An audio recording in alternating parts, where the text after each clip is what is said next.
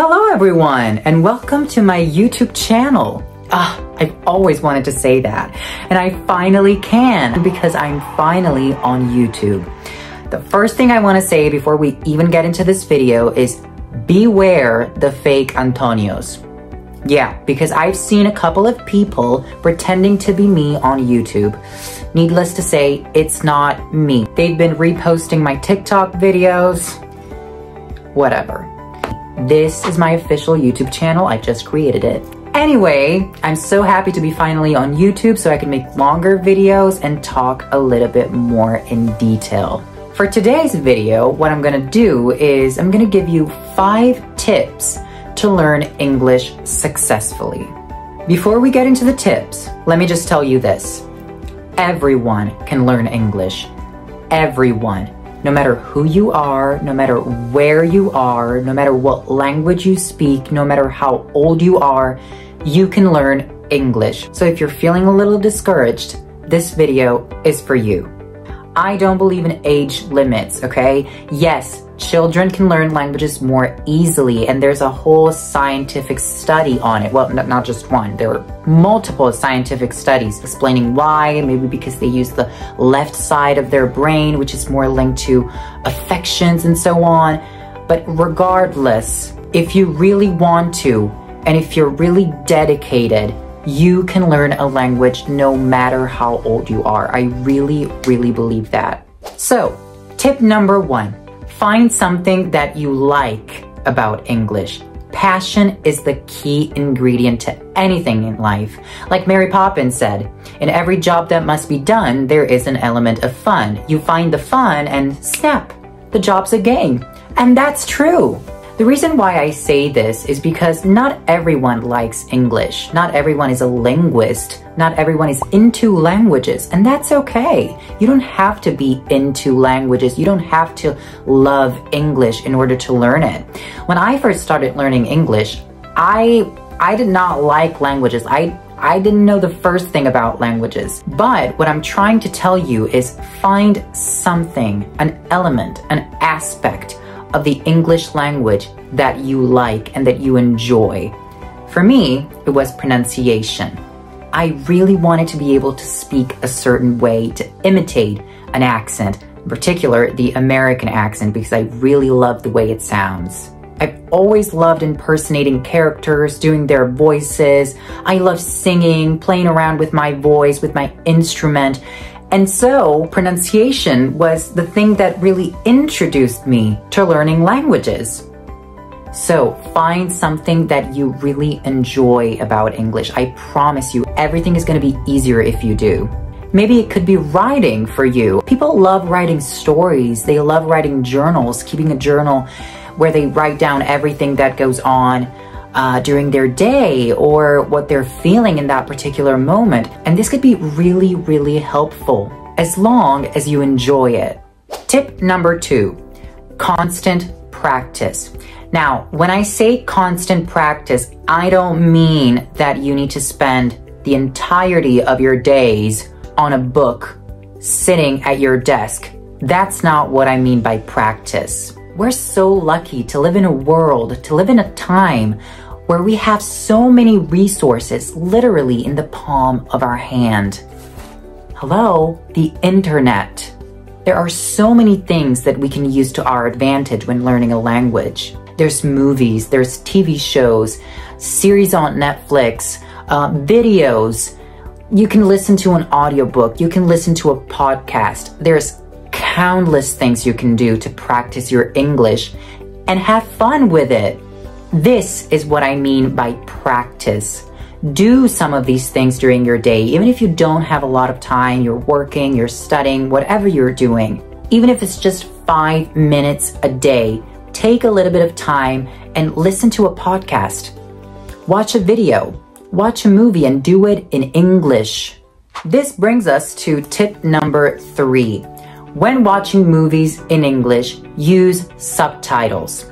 When I say subtitles, I mean captions, subtitles in English, those kind of subtitles that give you exactly what the person is saying.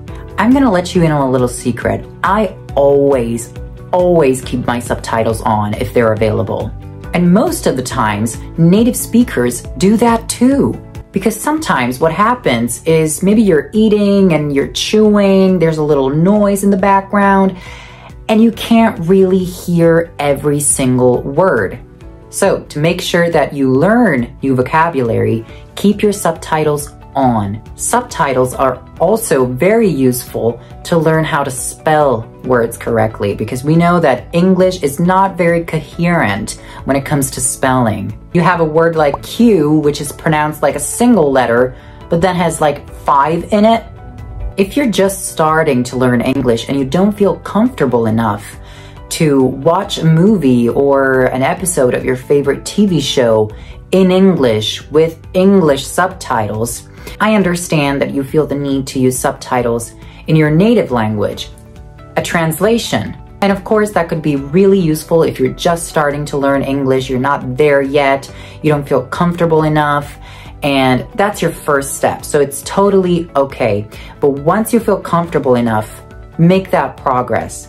Get rid of translations. And if there's a word you don't understand, an expression that you've never heard of before, look it up online. It takes two seconds. Just Google it.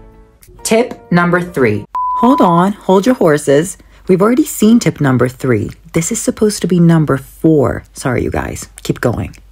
Watch cartoons or anything that is specifically made for children.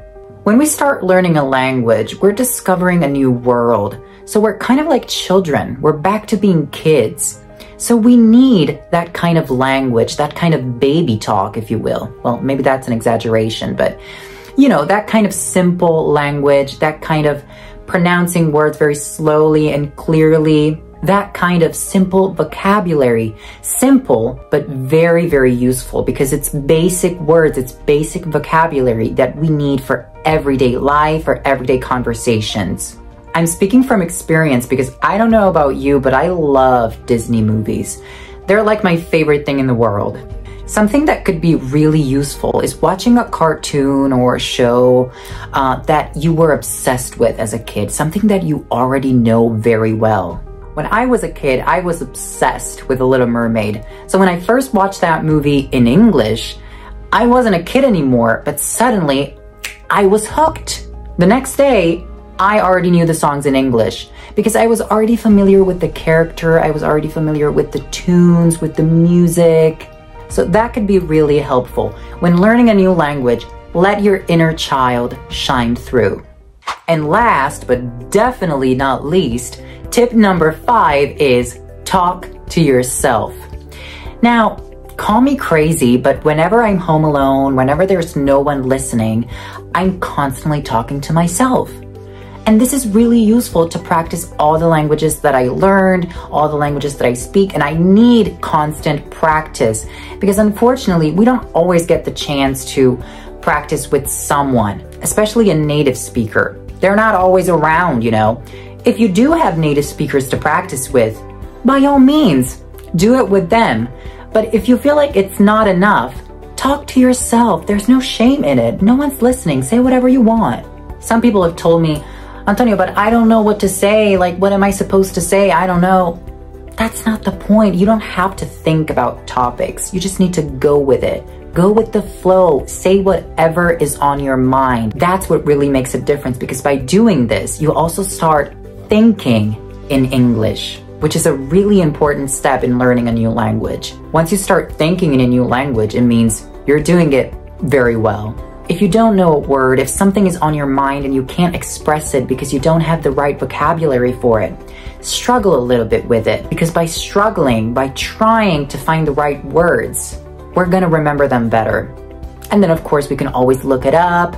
The internet is always there. But before we look it up, let's try and do it ourselves. I promise you it helps. So that was it, you guys. These were my five tips to learn a language. In particular, we've talked about English because you know that that's what I teach. Of course, I have plenty of other tips, but these were very general, so I feel like these can work for everyone. Before you go, make sure you follow me on all of my social media platforms. Again, beware the fake ones because there are a couple. I hope you enjoyed this video and I will see you guys in my next one. Bye.